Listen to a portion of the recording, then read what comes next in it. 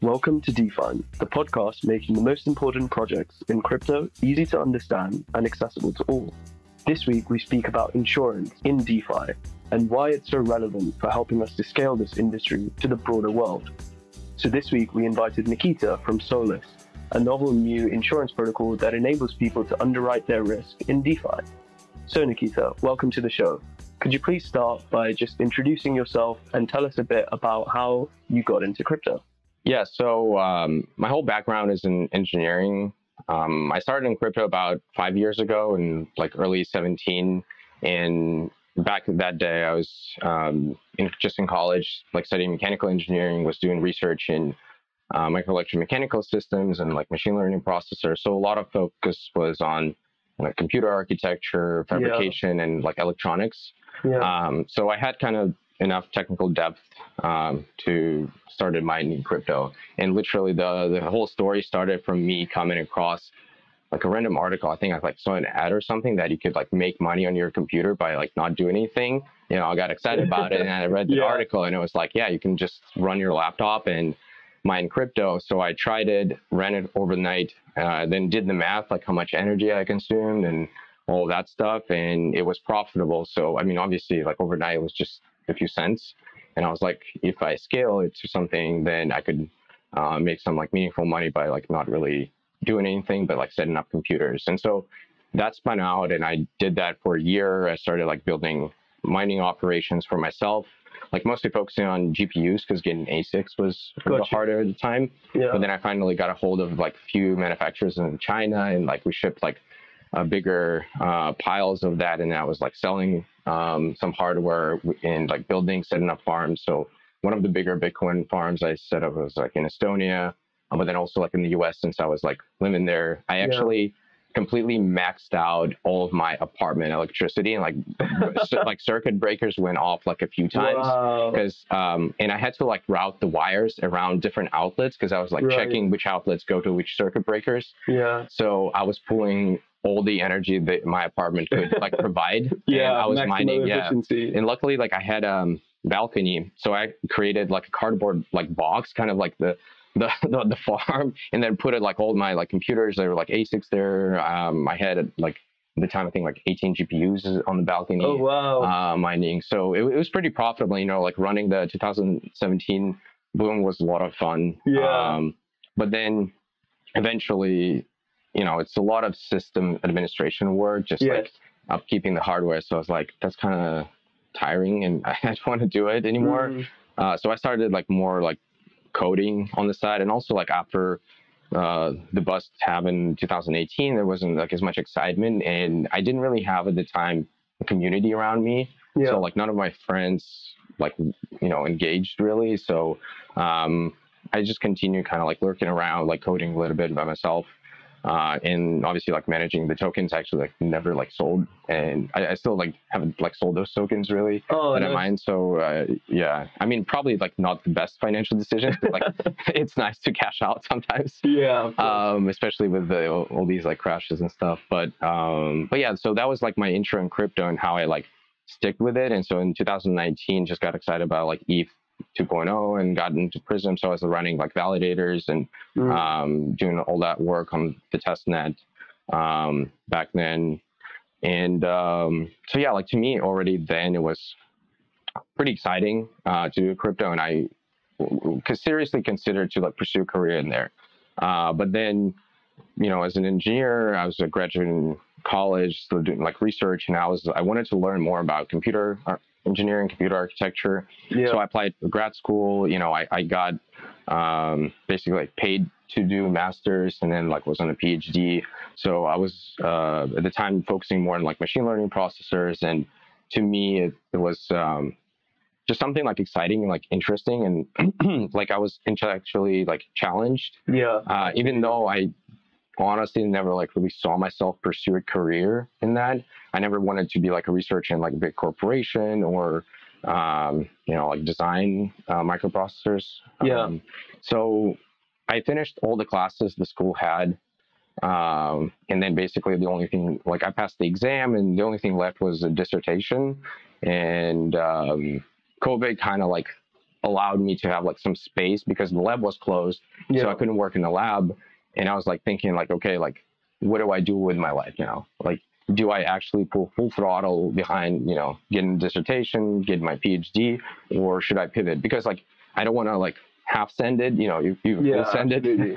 Absolutely, yeah. And um, and then yeah, I made a decision to just uh, pursue like crypto full time, and um, that was like right around DeFi summer. Mhm. Um, so obviously, like a lot of projects were like doing the farming, and the insurance need kind of became apparent because like all the hacks like started happening. Yeah. And I was deploying like my own coins, like I was helping like a bunch of other people like in deploying like their coins, and um, you know deploying their coins, you, you get worried um, that oh like what if there's a hack? Like how am I going to explain that to other people? Yeah, So naturally. it's like what like can I get insurance for it or like how do I hedge that type of risk? yeah. And everything that was on the market at that time and like all those ideas, um, just thought they're kind of suboptimal, uh, if, if I put it lightly.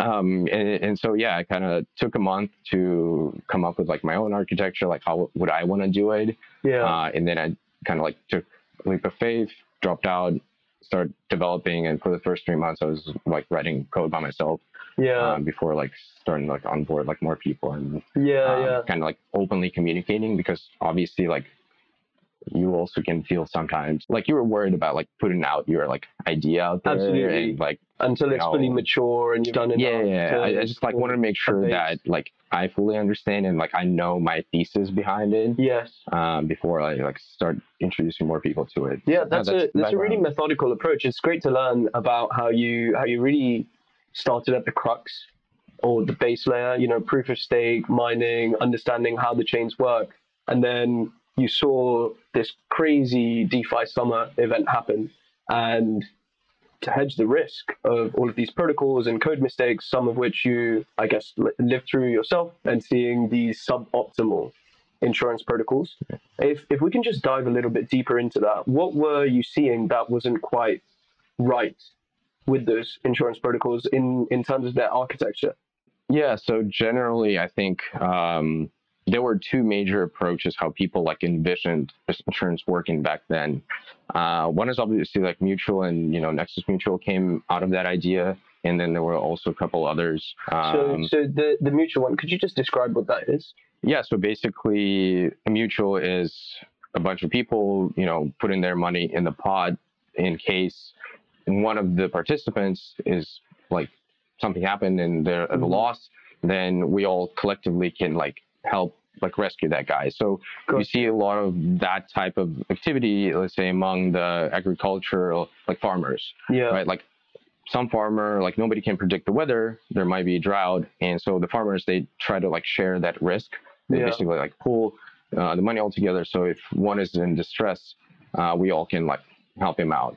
Um, so that's basically like how mutual work, and that's what Nexus did. Um, you know, like their token um, is basically like you join the mutual, uh, you put in some money, in return you get like a token representation of like that share, uh, and then everyone can buy like policies on their like individual like exposures in DeFi.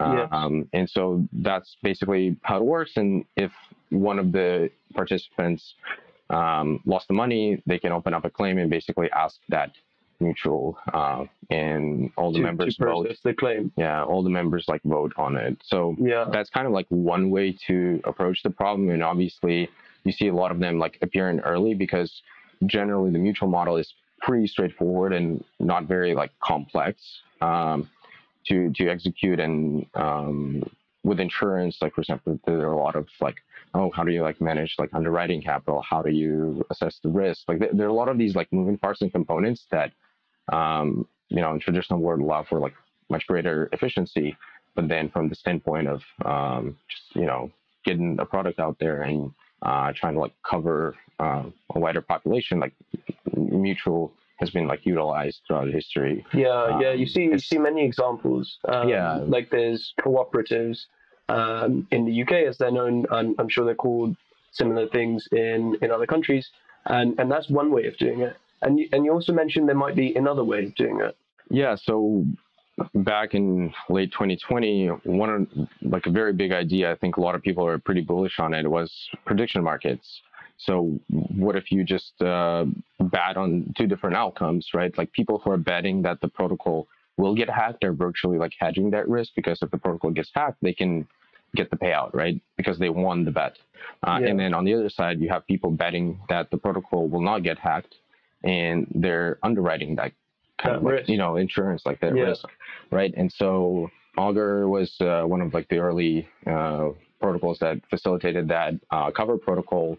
Um, we did that, and you know they had a few iterations, um, but then obviously like that model, even though it's fairly like easy and like straightforward and to conceptualize and like understand it, um, just doesn't really like didn't really work well at scale. So that's why you don't see any prediction markets right now trying to like yeah. hedge to quick hedge the risk.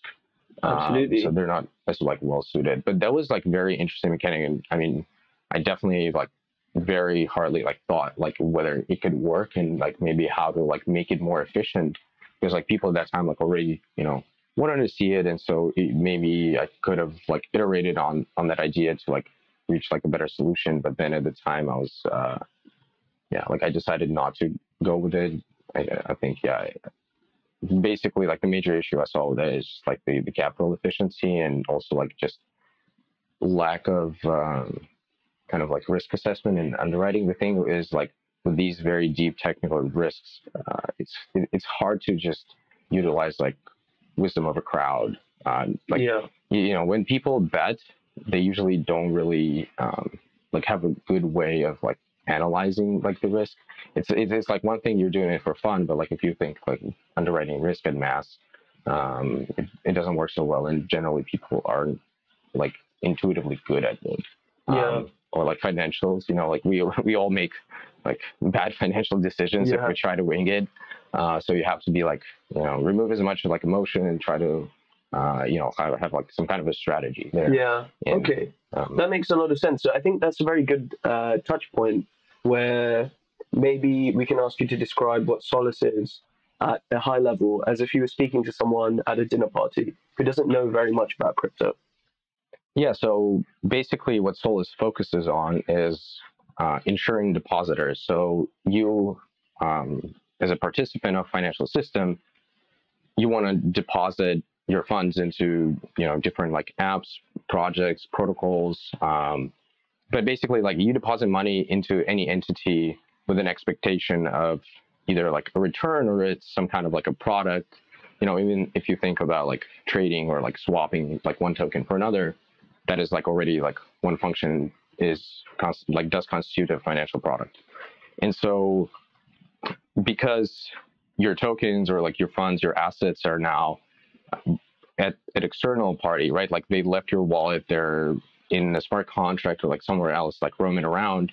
That entity, whether it's like an automated smart contract or like some yielding strategy, uh, or just like a vault or something, that entity can lose your funds. Like because it's code, uh, people like the, the probability of you covering 100% of like all the edge cases and you know there's a lot of complications in these yeah, like apps. because yeah. uh, we always you know champion that the blockchain is safe uh, but the, the, blockchain is just like a computer it's a substrate right?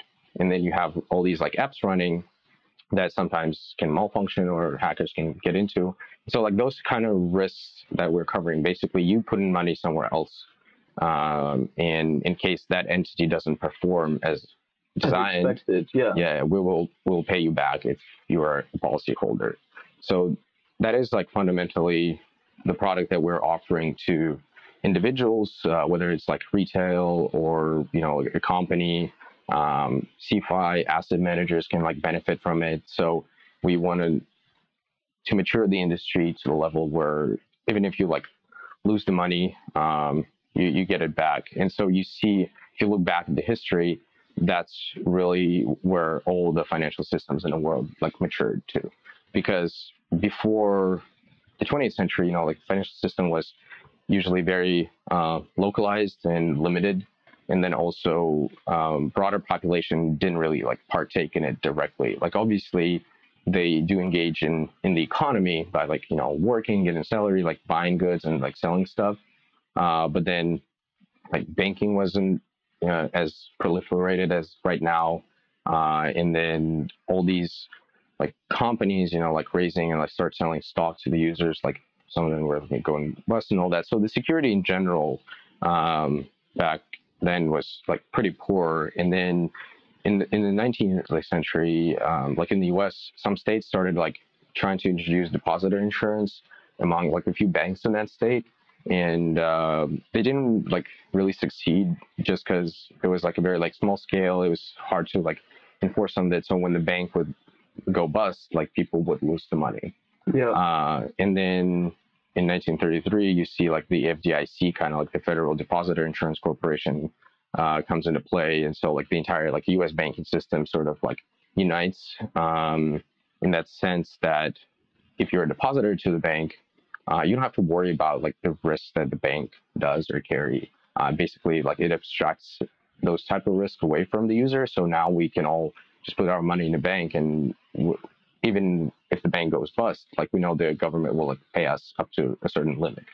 And so, basically, in 1934, that system kind of like went live, and then you see every country adopt that same like level of uh, security. And so, um, pretty much like every like financial like product, then you add some customer protection, you add um, all these like tools where now you can leverage them, you can use them, but you don't really have to dig in deep and like analyze all the risks yourself. Yeah. Uh, basically, if you know you're protected either by default or you have like easy to use tools out there to leverage. And so now, with the advent of DeFi, um, we create the new financial system that is like in many ways like much more like efficient and global.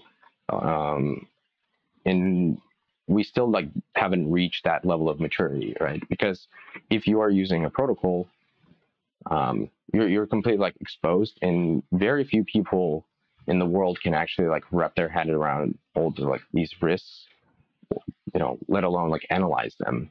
Yeah. and you know even us as a protocol like you, you know we we might be unaware of like some of the like attack vectors or like some of the risks that uh, we're exposed to because you know everyone is experimenting Absolutely. um, Yeah. Yeah. and like we want to create a better system uh, a bulletproof system but then we, we're still like not there yet right No, Uh, absolutely not. and so it's only like the next logical step that, hey, if we want the wider population to use DeFi and not just, you know, techni- technologists or like enthusiasts uh, or like the big funds and stuff, right? You you need to mature um, the kind of like the, the base level industry as security Yeah. industry as a whole. Um, and so like that's why, you know, the first product like we we wanted to like offer it to different partaking parties and now also started focusing more on ensuring like actual like, protocols in a project so you know whoever is using them they can have the confidence that hey like if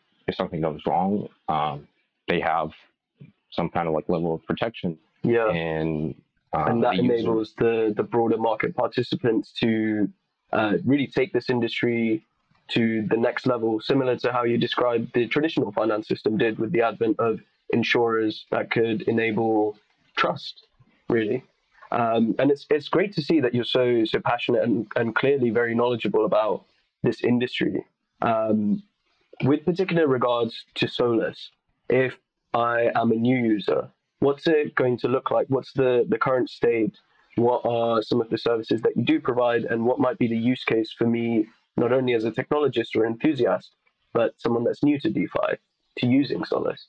Yeah, so you know, getting insured is pretty straightforward with Solace, and um, our product actually is quite different from all other DeFi insurances. Like most of them, and that was kind of like the first like products that like surfaced. You would buy a policy for a set exposure. So like if you want to deploy capital into a protocol A, like whatever it is, uh, you would buy a policy for that protocol we thought that it's kind of like also unnecessary like overhead for the users and you have to like basically with every investment or like every capital deployment you have to like buy a policy if you want to be like actually like stay protected and then you have to pay uh, for like a set period of time. So like prepay basically the coverage like into yeah. the future, and uh, just like a lot of work and like management. And I we thought that it could be like easier. Like why wouldn't we just like insure that address, right? Like so that's the policy, like the product that we have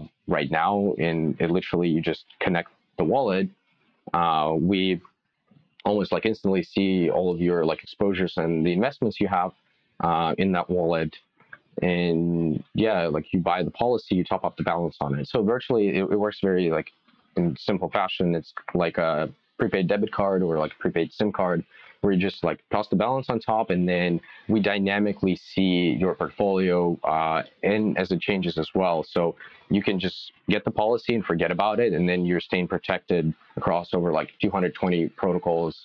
Uh, one policy also can cover that address across up to like like four chains right now that we're on. So oh, wow. Ethereum, Polygon, Fantom, Aurora, um, so you have one policy on one chain and you can roam freely around those four chains. And yeah, we offer coverage for like the most number of protocols out of like any other uh, DeFi insurance right now. So that is like very easy, low maintenance tool. Just got to make sure like that there's money on the balance and then you can just like snooze it, like basically forget about it and focus on, you know, like producing yield, like making money, like yeah, using yeah. actually like the tools without the headache of maybe like researching and like trying to like manage your own risk. Absolutely. So we really want to like free up the bandwidth and you know at a personal level it makes a lot of sense, but then we see a lot of like interest from um, different like companies that deploy capital, different fund managers because you know they have to actually basically run their own research teams that dig through the protocol just to make sure that the capital isn't going to get you know lost. But now they can completely outsource that to a policy. Yeah, yeah, that covers them. So it really takes, I think, I think we're counting it's like two or three clicks basically just to like get insurance, and it's like the easiest and like the fastest way. Uh, you don't need to like register or like do anything. Um, so yeah, we're we're pretty happy about like the tool and the, the UI that are produced. You can also like simulate your portfolio. Basically, you can see like how your premium will change based on different risks. Like you can also like check what uh, how the protocols are like rated. Yeah, um, yeah. And then yeah, we're also like the only protocol that actually completely publishes like open source the entire risk modeling and the whole like pipeline. Mm-hmm. Um, just because we we believe that I mean, first of all, like more people will take a look at it, like the better we pressure test the logic. Absolutely. So I, I think that's the, the greatest benefit of the open source uh, code and stuff. Uh, and we want to invite like more and more people uh, for that kind of work. Um, a funny thing actually, like when uh, like a year ago, I was talking to like a lot of like VCs, and as we were just getting started with this uh, development of like the current version of the risk modeling, risk assessment pipeline, and all that, a lot of them thought that uh, it would be hard to attract uh, like risk assessors and like people from maybe like traditional insurance industry or just generally like individuals interested in that line of work. Um, but it just so happened that we got the most interest actually from that side, like when we were trying to hire, because like obviously like we were like scaling the team throughout the year and uh, trying to get like the devs, you know, you have like business development people, like content guys, and and yeah, the, the, the, easiest one was actually to get the, the risk managers because oh, right. um, they couldn't utilize their skill anywhere in crypto but but Solace. Yeah. Because uh, okay. yeah, we just have like this like open source and like we were like really um, cultivating the, the, that idea, you know, like throwing and um, talking a lot in like Discord, and so it's yeah, it, it's fun. I don't have any background in insurance, but just through conversations with like people who you know have like years of experience in that from like different ends on like assessment or like underwriting and like all these sorts of things. Um so yeah i'm been able to learn quite a lot. No that's um that's actually really really good to hear. I think we covered a little bit some some challenges that you experienced whilst you were trying to scale the business. So maybe we can talk a little bit about the short period after the inception of Solace. So really those three months when you were grinding, you know, working out the idea, testing your thesis, eventually scaling the team. What was that process like? What were some of the most memorable events that you can remember that served as a checkbox like this was an achievement for Solace? Yeah, I think hiring and generally like running the team, cultivating like the team spirit, the values, like what is the mission, uh, what is like the vision there um, is has been like the, the most like challenging thing because you know like once you know what you want to build it's like fairly straightforward but a lot of teams are you know like struggling with just like management overhead or like the team mechanics um, just misalignment on maybe like the idea of like the implementation all that. So the, i think at the end of the day like the success comes from like a, a good team because i think in the industry like it, it there's so much to build right like there's so many like things you can build uh, and uh, so the many different approaches. So keeping the team aligned yeah and, yeah and all pulling in the same direction was was something which required a lot of uh, leadership in a way. yeah and so like that's where like you know a lot of like my focus uh, goes because uh, you know obviously like hiring is also like it's probably like the hardest thing Yeah. um like for me personally like finding the right people because um yeah with like little time and like we meet everyone on the internet like you don't have like the personal like feel Yeah, uh, for them um, from like talking in person. So that, that that was challenging, and I guess like getting the first people in. Like I remember it took it took me a month of like I literally like, I didn't write code. Like for a month, I was only hiring. Like that Yeah. was like the sole uh, purpose. And then at the end of the month, I was I mean first of all like exhausted from like all the conversations Absolutely. and trying to like understand whether like that's the right fit.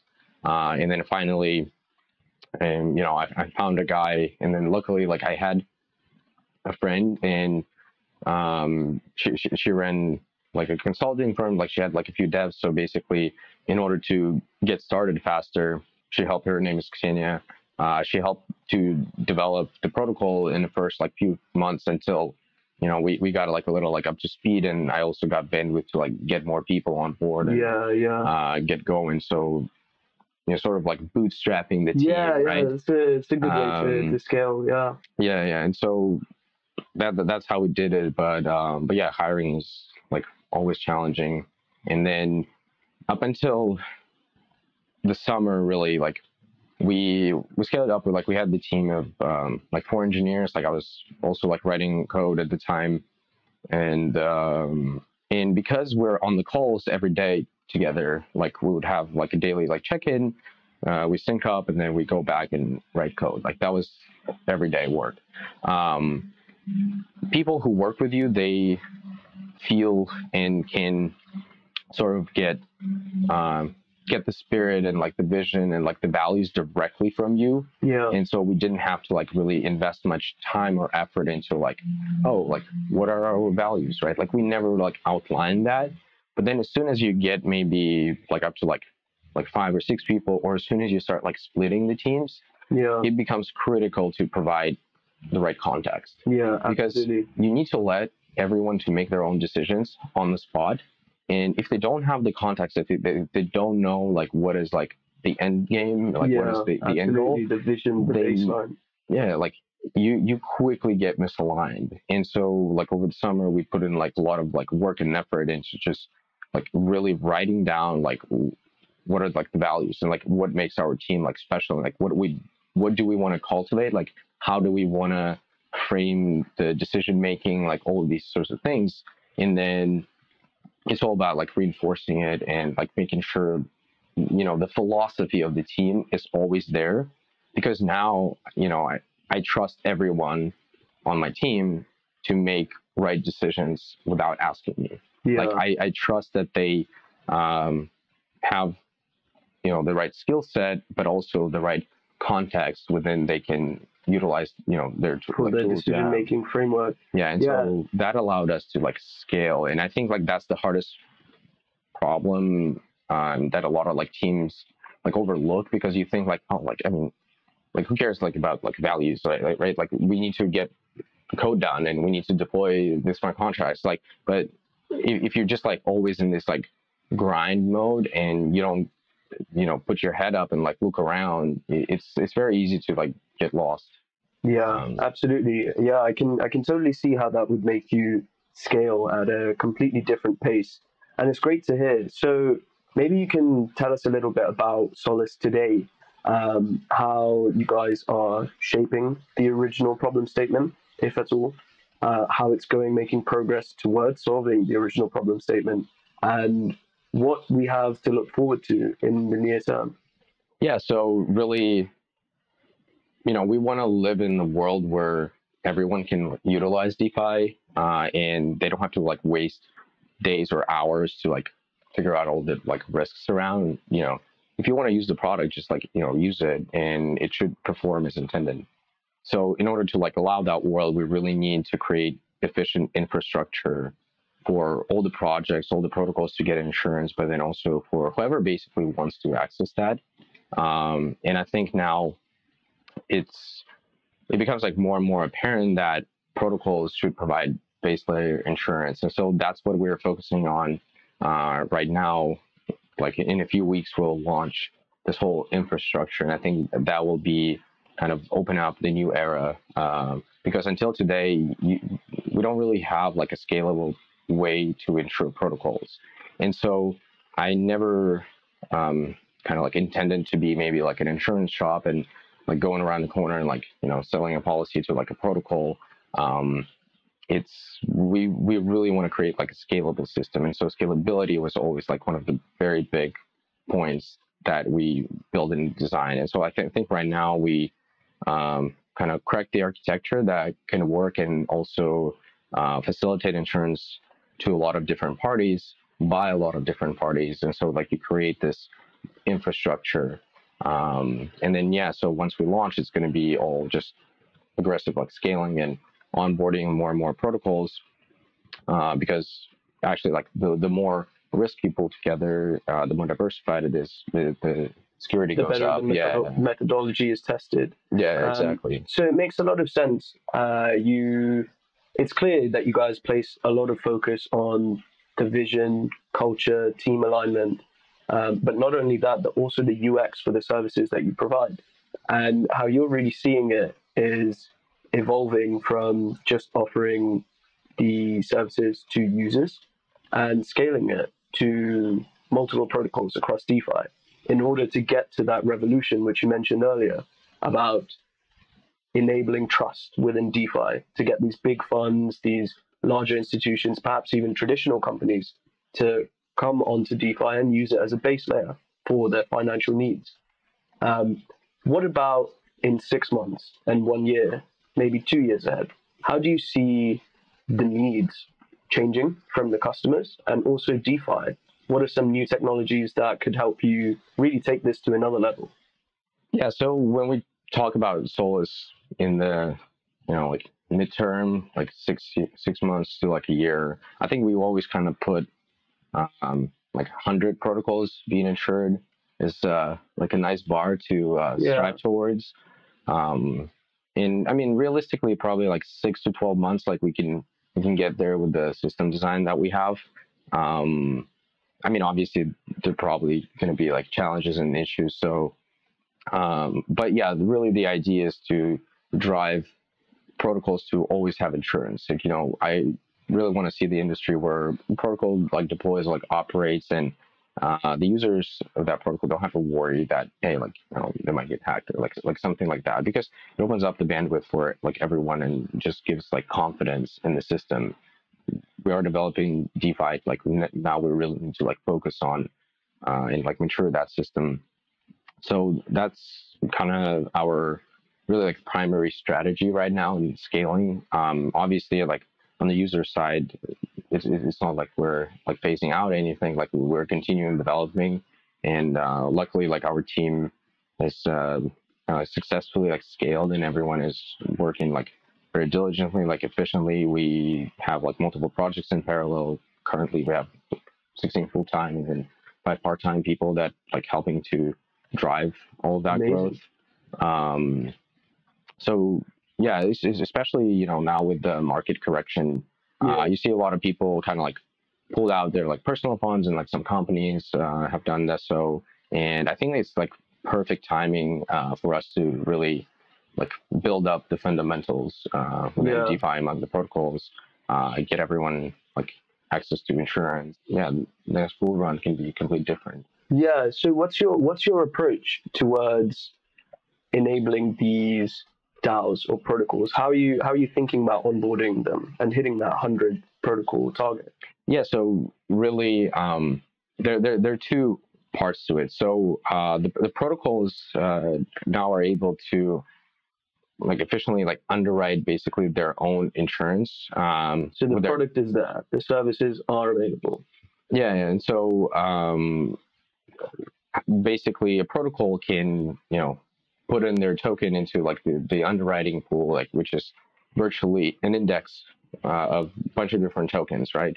Um, and because most of the protocols sit on liquid like treasuries, like everyone has like a lot of their token, but it's not like you can like sell it or like even like pay like salaries maybe. Uh, and you know, diversifying and like measuring protocol treasuries is like a, a huge like major challenge in general. Absolutely. And so, like, what we're offering uh, in order to bootstrap the underwriting capital is basically like a swap. Like, we allow a protocol to uh, exchange like their token for an index, basically a basket of like all the insured protocols.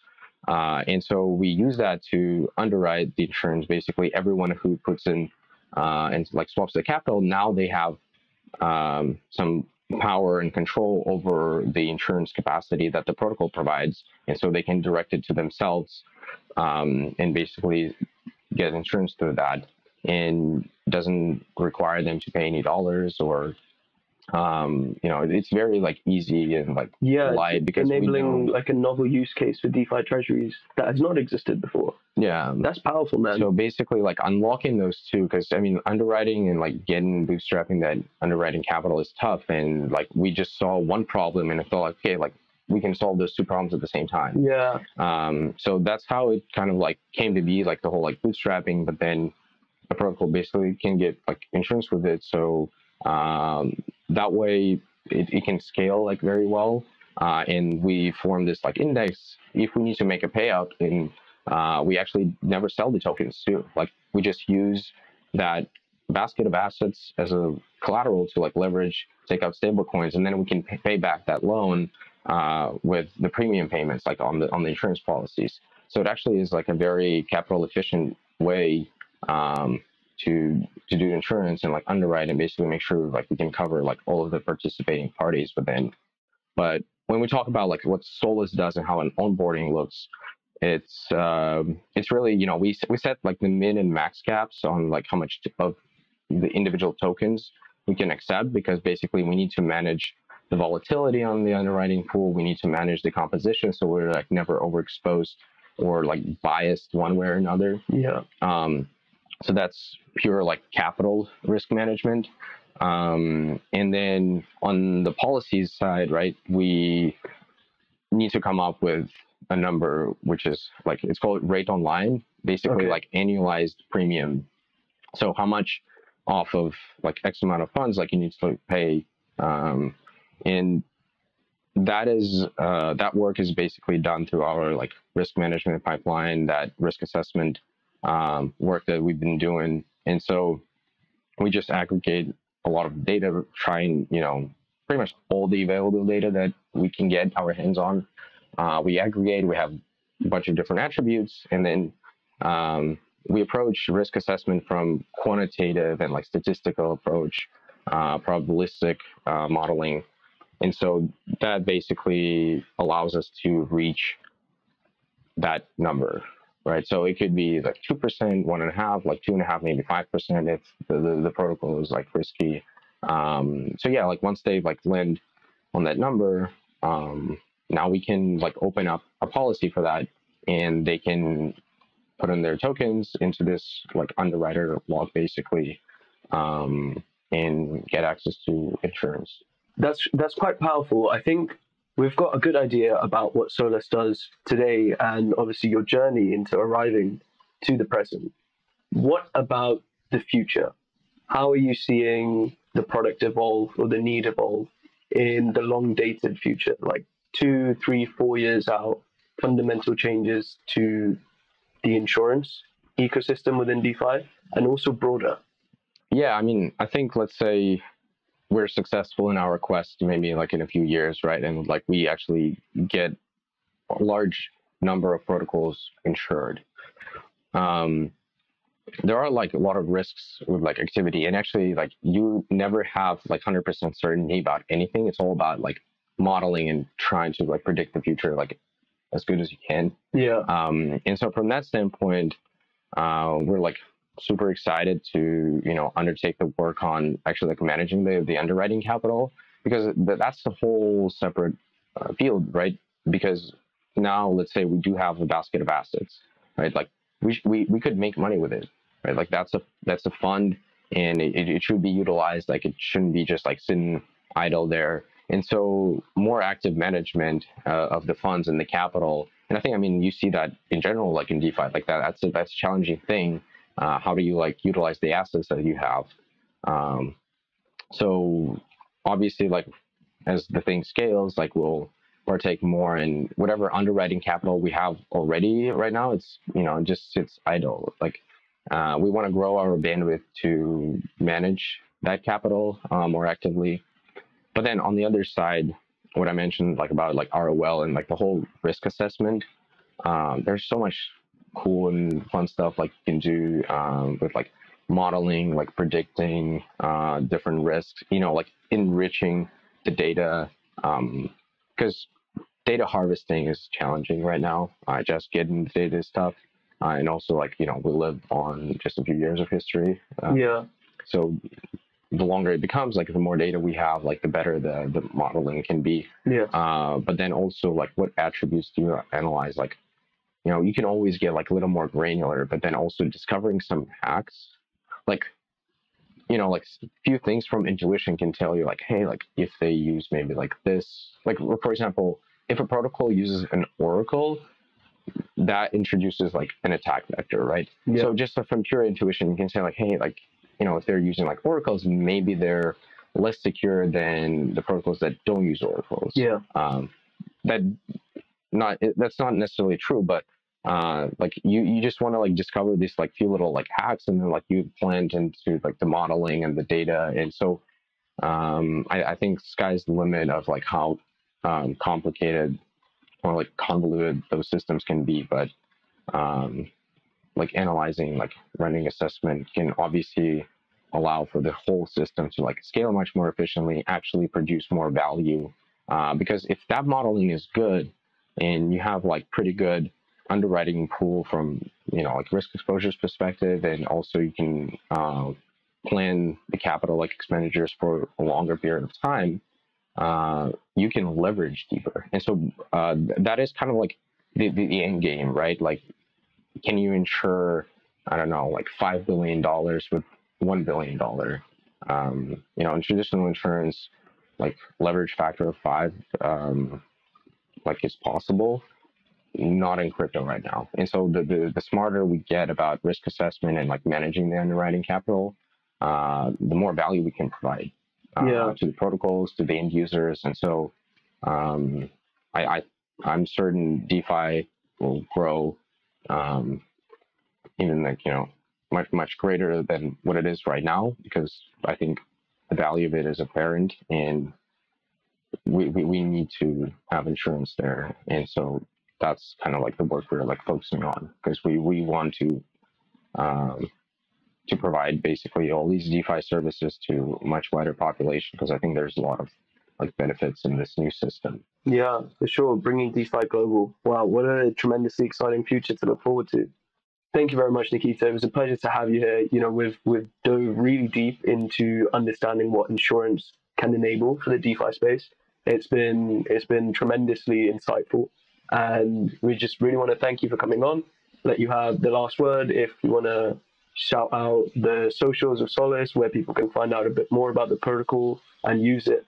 Um, the floor is yours. Yeah, I mean, obviously, thanks for having me. I very much enjoy the conversation. Uh, we, we touched on like pretty cool topics um, that you know I don't get to talk often. Uh, usually, you're like very nitty gritty, but it's it's nice to like talk about big picture and stuff. Um, so yeah, pleasure to be here and um, I invite like everyone obviously to join our Discord. Like we have a lot of like smart individuals there, and I think um, that's what like makes makes Solace great. Is like a lot of ideas like roaming around. So we're always like very active and engaging there. Uh, but you know, Twitter is a, is a, another great way to connect uh, and like stay up updated with everyone. And of course, you can always like message me. I'm always online, just like most people in this industry. So, um, so yes, like stay up to date. Um, I think our, our Twitter account is SolaceFi. Um, there will be a link for that. Uh, and then yeah, the the website solace.fi. Um, you can get insurance there. Obviously, we have like staking and like other um, stuff in the token. So, um, looking forward to see you on our website. Definitely, yeah, and we will put all of the relevant links just below in the description. You can also find links to our other DeFi episodes where we dig into other topics. And that's it for today, guys. Thanks so much.